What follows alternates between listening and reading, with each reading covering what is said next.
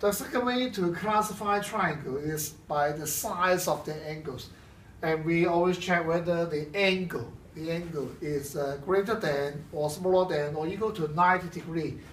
So the first one, we call this an acute angled triangle because all three angles, they are less than 90 degree.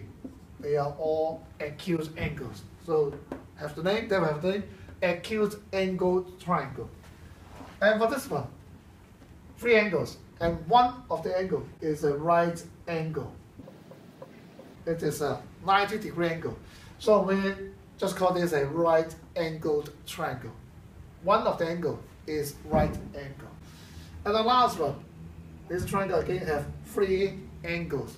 And one of the angle is greater than 90 degree, greater than 90 degree.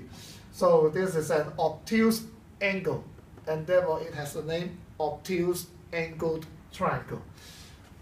Even though the remaining angles, they are all acute angle, but just one obtuse angle, it will have another name.